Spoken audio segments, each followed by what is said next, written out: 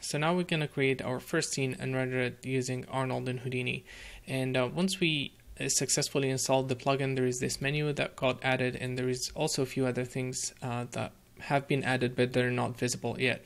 And uh, there is two new shelf menus that uh, they're uh, added but they're not visible. So I'm gonna click the plus button here and go under shelves. There's this Arnold um, shelf and I'm going to click again and there's this Arnold lights. And these two shelves um, will allow you to create pretty much all the nodes related uh, to the Arnold plugin.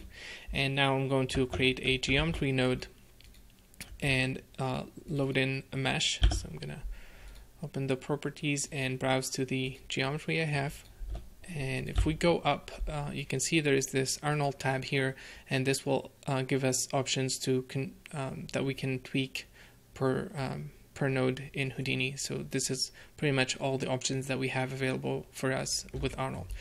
I'm going to create a grid to use as a ground. And now we have some geometry here we're going to switch to the out context and we're going to create our first Arnold node so I'm going to hit tab and type in AR, you can see it's gonna autocomplete and this is our Arnold render node. And I'm gonna I'm gonna create that node and pretty much we're we have everything ready now. Uh, the last thing that we need to do is we need to create a camera. So I'm gonna click the no cam button here. I'm gonna choose new camera and I'm gonna position it a bit better. So now we have camera, we have some geometry and sorry, if we change uh, switch back to the out context you can see we have the main tab here that has uh, pretty much all the options of what we want to include in terms of objects lights and camera. And by default it's using the object cam one.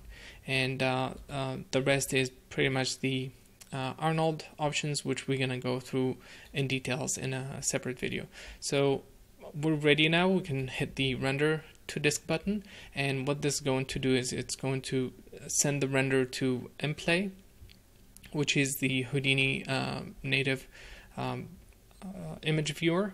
And it's going to uh, let's see so yeah, this is the render and this is with mplay.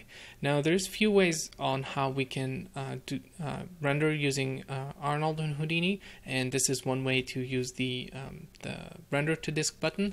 And there is also the render to view, uh, render view here which is an interactive um, uh, rendering preview. And we can we have to make sure that we're selecting the proper um, uh, Arnold node and the camera it's going to use the same camera and then if we hit render it's going to do it's going to create an interactive um, uh, uh, render for us and we can change settings on the fly and it's going to update live. So I'm gonna I'm gonna create a scene here to be able to um, and select the camera. I'm gonna have both of them on. So if I uh, change the camera, you can see it's live updating everything.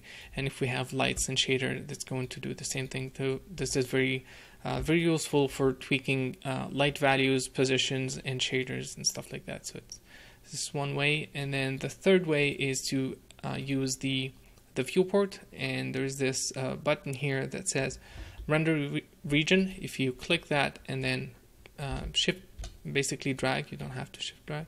If you drag it's going to uh, add a render preview on top of your viewport and you can still use the viewport uh, tumbling and everything and the manipulators and it will send the render directly to this uh, to this preview here and you can see it live. So this is the second way uh, the third way of doing render.